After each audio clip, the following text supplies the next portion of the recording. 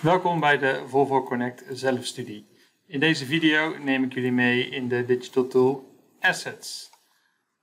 Assets kan je benaderen via het uh, startscherm van Volvo Connect, het dashboard met erop de widget Assets. Heb je deze niet, klik dan hier op bewerken om de widget toe te voegen. Je kan Assets benaderen via de widget of door het menu te gaan en te kiezen voor Assets. Bij Assets heb je je wagenpark als het ware in één overzicht. Je ziet hier voertuigen, trailers en waarschuwingen. Klik op voertuigen om het overzicht van je wagenpark te bekijken. Je ziet aan de rechterzijde nu een overzicht ontstaan. Wil je deze groter maken, dan kan je hier op het hamburgermenu klikken om het scherm te vergroten. Vervolgens zie je hier een overzicht.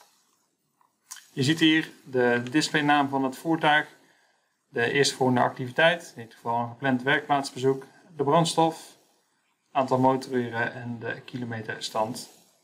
Klik je op, een, op de naam van het voertuig, dan zie je een aantal verschillende elementen. Voertuigstatus geeft weer of er op dit moment actieve waarschuwingslampen zijn. Die zijn er nu niet. We een beetje naar onder scrollen zien we bij dit voertuig ook de bandenspanning zoals die nu is. Eventueel zie je hier ook de spanning, bandenspanning van de trailer als dat ondersteund wordt. Het volgende menu-item is voertuigdetails. Hierbij zie je wat algemene slash technische gegevens van het voertuig. Bijvoorbeeld onder andere het VIN-nummer van het voertuig, het brandstoftype, in dit geval is een LNG-voertuig, eh, tankinhoud, hoeveel kilo LNG en hoeveel liter diesel kan het voertuig meenemen. Ook zie je hier een link naar de online bestuurdershandleiding. Handig, zeker ook voor chauffeurs. Dit is een handleiding uh, op maat, specifiek voor het voertuig. Dus zoeken we hier bijvoorbeeld op LNG, dat je wilt weten hoe je LNG moet tanken, dan kan je dat hier gemakkelijk teruglezen. Dus een handige link om uh, meer te weten over het voertuig. Zie je het als het soort digitale instructieboekje.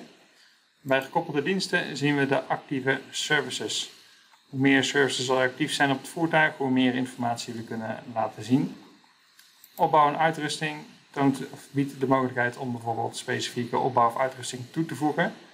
Uh, bijvoorbeeld de uh, houdbaarheidsdatum van een brandblusser, zodat je als je het voertuig bekijkt niet alleen weet wanneer het voertuig onderhoud nodig heeft, maar bijvoorbeeld ook wanneer de brandblusser de nieuwe inspectie moet hebben. Gaan we terug naar het menu, klik hierop, dan komt het menu er weer bij. En dan gaan we naar het volgende hoofdstukje, dat is trailers. In dit geval is het niet veel meer dan de, de trailer aan zich. Geen aparte informatie behalve het kenteken en het chassisnummer van de trailer. Derde menu-item is asset waarschuwingen. In Volvo Connect verzamelen we allerlei waarschuwingen afhankelijk van de services die actief zijn op het voertuig. Die waarschuwingen die zijn beschikbaar hier rechtsbovenin bij het belletje. Daarvan zie je de meest recente waarschuwingen. Maar het soort archief van de waarschuwingen en de mogelijkheid om te filteren vind je dus hier onder assets bij asset waarschuwingen. Ik maak het menu even weer, laat ik weer verdwijnen. Hier bij filteren kan ik dus kiezen welke waarschuwingen ik wil zien. Eventueel op soort van gebeurtenis. Uh, en eventueel ook een tijdvak wat je, uh, wat je kan laten zien. Nou, je ziet er zijn heel veel verschillende waarschuwingen beschikbaar. Kies ik bijvoorbeeld even sterregrammen. Eventueel over een bepaald type voertuig kan ik dat selecteren en een bepaalde periode toepassen. En ik zie hier de gebeurtenissen sterregrammen.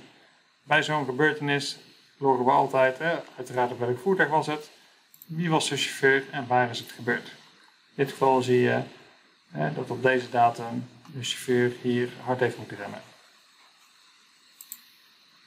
Tot zover wat ik wilde vertellen over assets. Bekijk ook onze andere instructievideo's om meer te leren over Volvo Connect. Dank jullie wel.